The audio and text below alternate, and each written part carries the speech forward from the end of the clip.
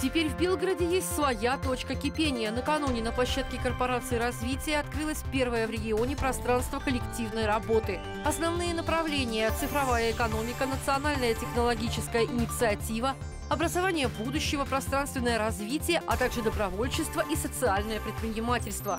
Как эта площадка будет работать и в чем ее отличие от подобных?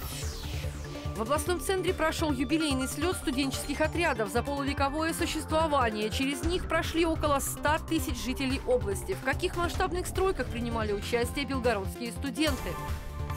Около сотни дворов и парков в разных муниципалитетах региона в этом году были благоустроены в рамках партийного проекта «Единой России. Городская среда». Наш корреспондент прошлась по обновленным территориям Губкинского округа. Что изменилось и довольны ли жители результатом?